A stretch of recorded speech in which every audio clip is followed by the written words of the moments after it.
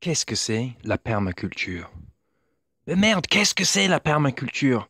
Parce que plus ça devient populaire, plus ça devient le mode, plus on fait du bruit autour de nous, plus on a du succès et on nous invite même à passer à la télé, moins il y a des gens qui comprennent ce que c'est et nous sommes pas très loin d'un échec très très grave.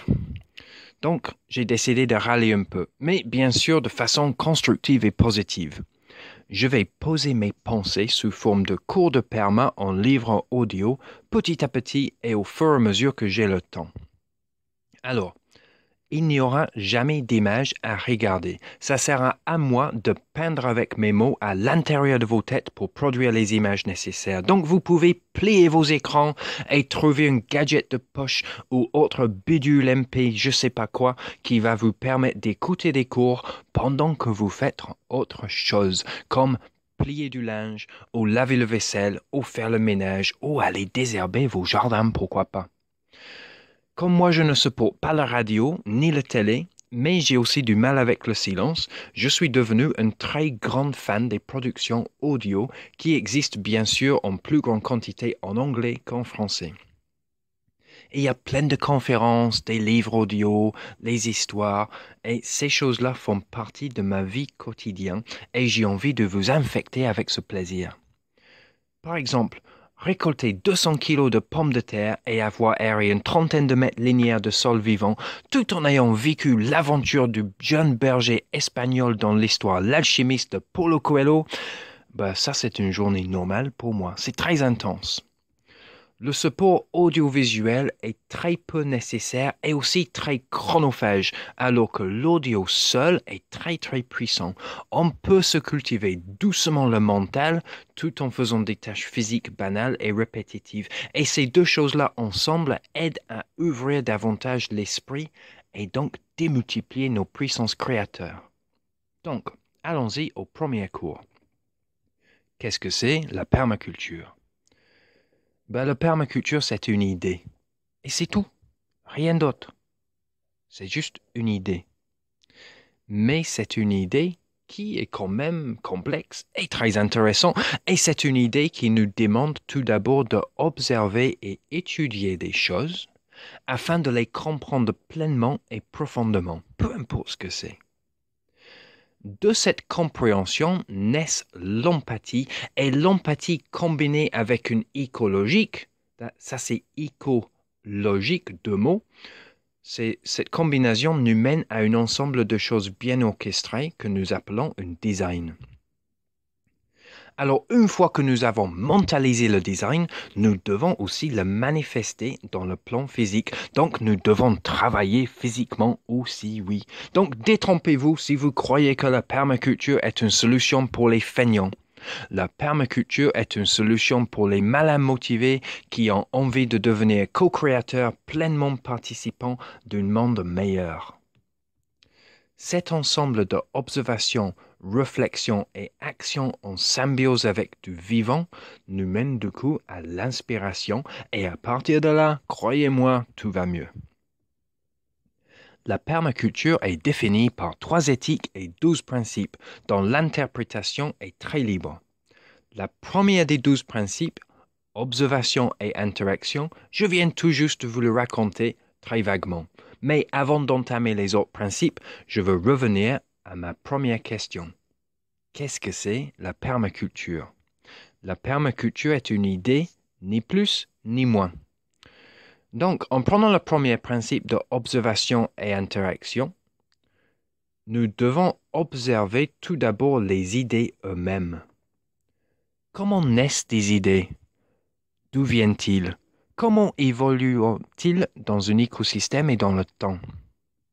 Donc nous allons quitter le plan physique pour aller visiter le royaume imaginaire des idées où nous allons pouvoir les observer en vie. Le paysage imaginaire des mondes des idées consiste d'un énorme lac perdu perché dans les montagnes lointaines.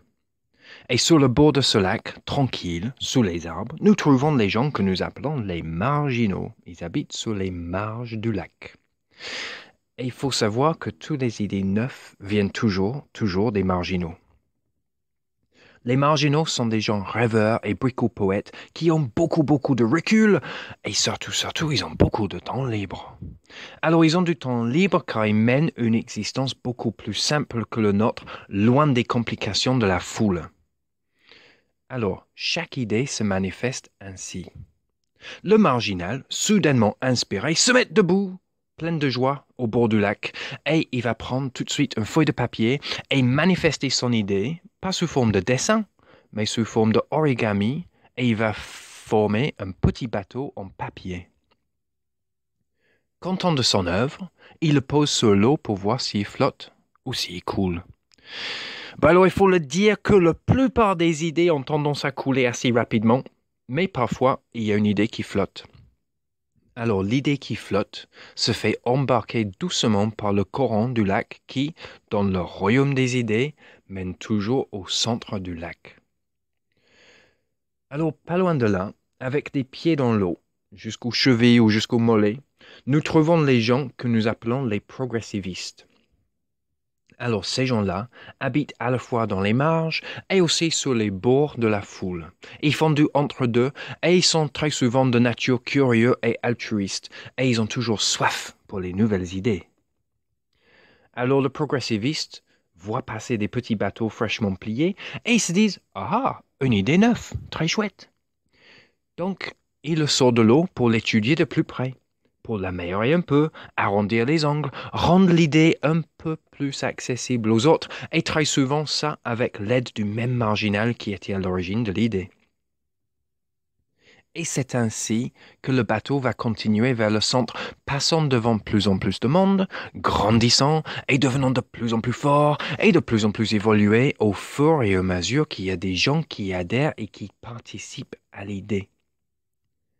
Alors à ce stade-là, avec chacun qui adhère, qui s'approprie l'idée consciemment et dans la bienveillance, l'idée est à son plus fort, elle est à son apogée. À partir d'une idée qui arrive à grandir jusqu'à ce stade-là, va naître un mouvement, un espoir et une vision du monde meilleur et possible. Et après, il se passe quelque chose de très, très, très chiant. Et franchement très triste dans le centre de ce lac, dans l'eau jusqu'au cou et plus souvent jusqu'aux yeux et au-delà, notez bien les métaphores autour des profondeurs d'eau, nous trouvons la foule. C'est la masse populaire. C'est des consommateurs inconscients. Alors que ce soit par ignorance pure ou par manipulation tordue, la masse populaire est, de façon générale, une bande de consommateurs de réalité. Ici, nous avons des gens qui sont juste contents de consommer au quotidien sans trop réfléchir. Je ne parle pas de nourriture et de carburant non plus, je parle aussi intellectuellement. Je parle de la maison mal conçue et mal construite par autrui, destinée à devenir un gouffre à la consommation. Et je parle aussi des décisions politiques consommées par le fou sans autre consentement qu'une vote quinquennale pour un candidat. Alors il y a une ligne qui les entoure, cette masse populaire, et cette ligne représente la limite de la conscience et la limite de la volonté de s'accorder le pouvoir de participer pleinement à notre réalité. Alors, pour qu'une idée traverse cette ligne et devienne la nouvelle orthodoxie pour la masse, il doit d'abord passer dans les mains des industriels ou les dirigeants ou les soi-disant élites. Alors, ces gens-là sont très, très, très, très, très, très, très malins. Eux, ils voient arriver le bateau de loin et ils reconnaissent immédiatement et d'avance cette idée neuve qui menacera éventuellement le pouvoir en place. De coup, eux aussi, ils le prennent. Ils le sortent de l'eau, mais ils ne regardent pas eux-mêmes. Ils le confient à leurs ingénieurs d'obsolescence programmée et ils le chargent de rendre l'idée propre à la consommation. Alors, pour qu'une idée devienne propre à la consommation et surtout, surtout imperméable aux imbéciles, pour que personne se fait mal avec, ben, l'idée doit obligatoirement perdre tout son intérêt de départ. C'est comme ça.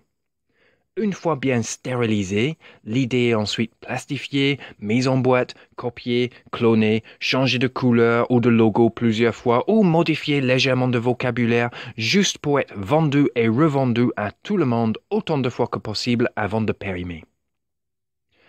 au centre du lac, derrière la foule, il y a un tourbillon qui est la source du courant centrique qui tire toutes les idées vers leur obsolescence.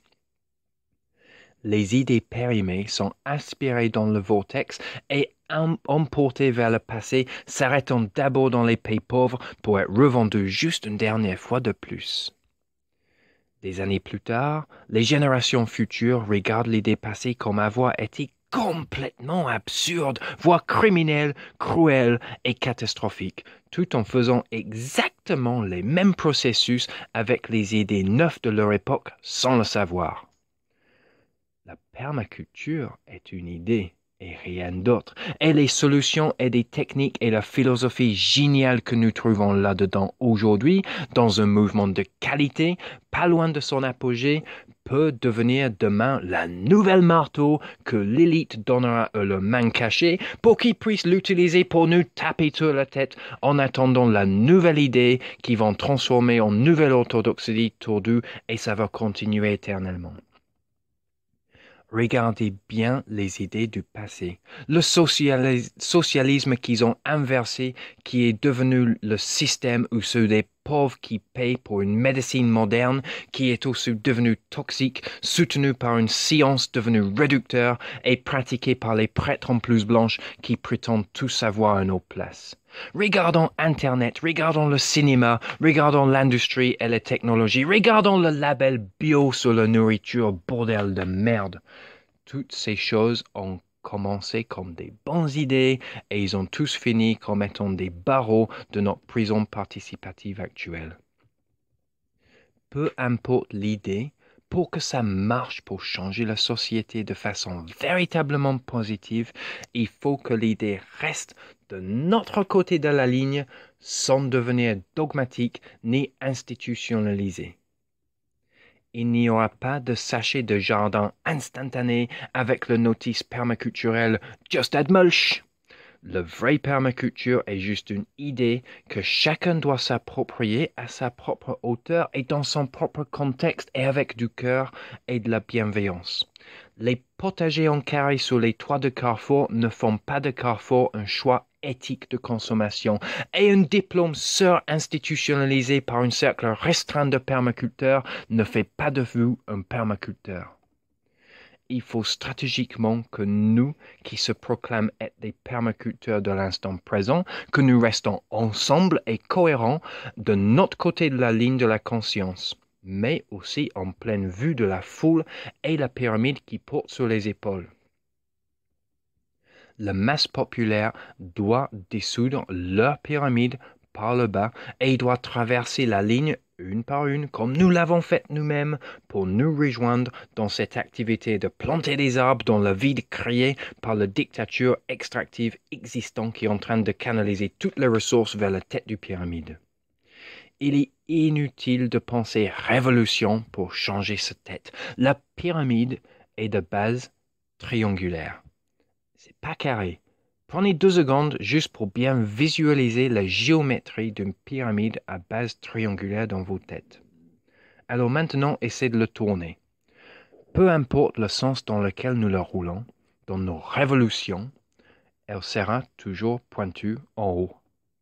Nous devons pratiquer un processus de dissolution et non pas par manifestation ou de boycott occasionnel, le boycott d'un jour ne sert strictement à rien. les manifestations sont juste une occasion sociale ou parfois un entraînement pour les chiens d'attaque des banquiers. Si vous voulez changer les choses profondément, il suffit tout simplement de s'occuper de vous et de s'occuper de la nature autour de vous et de vous y ressourcer directement au lieu de payer les autres pour le détruire à votre place. Avec la permaculture, le boycott est par design. Une chose à la fois, petit à petit. Et au début, seul dans son coin, le temps de réfléchir et prendre ses marques. Puis, après, avec ses amis et de préférence avec ses voisins pour consommer consciemment et entre nous. La permaculture, c'est boycott par design. Et dans le